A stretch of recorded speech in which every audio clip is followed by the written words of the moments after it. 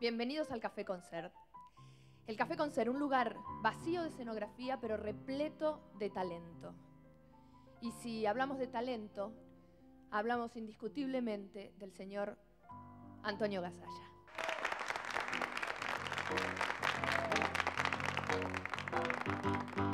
Porque está muy de moda y parece una joda, todos quieren hacer café con Los hay muy insolubres y cubiertos de mugre. Mientras haces franela, te insultan a tu abuela. También hay muy lujosos, con elegantes mozos. Verán grandes artistas y muchos alcoholistas. Y del pequeño reducto del Café Concert, Antonio pasó a la pantalla grande y fue convocado, como no podía ser de otra manera, por grandes directores.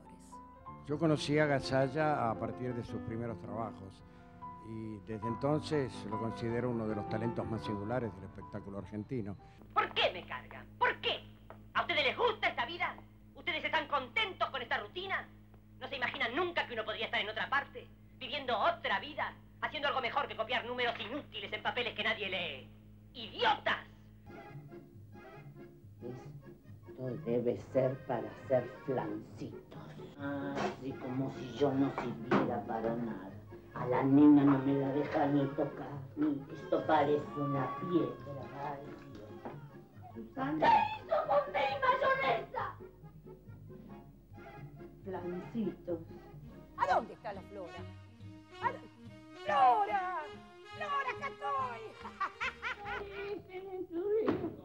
¿Cómo están esos baños? Alguien se cagó afuera del inodoro, te digo. Flora! Yo no sé, esta casa de gobierno que va a terminar.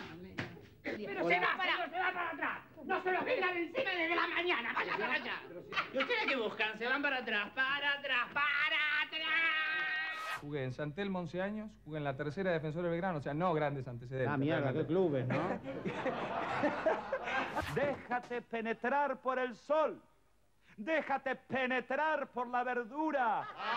Que entre, sí, que penetre, que rasgue, que rompa, que reviente, hermano. Trae para acá. Pero querida Trae mamá, para si yo no lo hice Marta. queriendo. ¿Cómo, Marta? ¿Qué pasó? ¿Qué es esto, Marta? ¿Qué lo Ah, Esto es la Pascualina. Marta, es la Pascualina que yo te hice, Marta. Y un poco más a la derecha. ¡Epa, cuidado!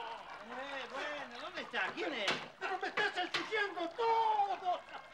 ¿Por qué me rodea? ¿Por qué me rodea? Mira, mira que se defensa personal, ¿eh? No te me vengas encima porque te va a ir mal, ¿eh?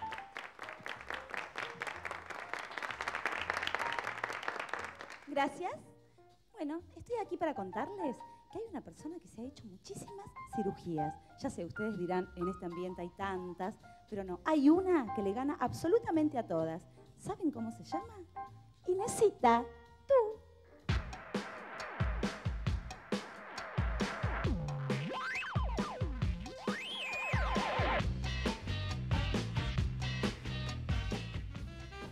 Antonio, si habremos remado desde este escenario maravilloso del Teatro Maipo donde yo estoy parado, yo como coautor tuyo, en esas tres inolvidables temporadas, te ayudé a remar y vos me ayudaste tanto a mí. Así que ahora que Sábado Bus hoy te entrega el remo, desde acá te entrego todo mi cariño, mi recuerdo y también el aplauso del público.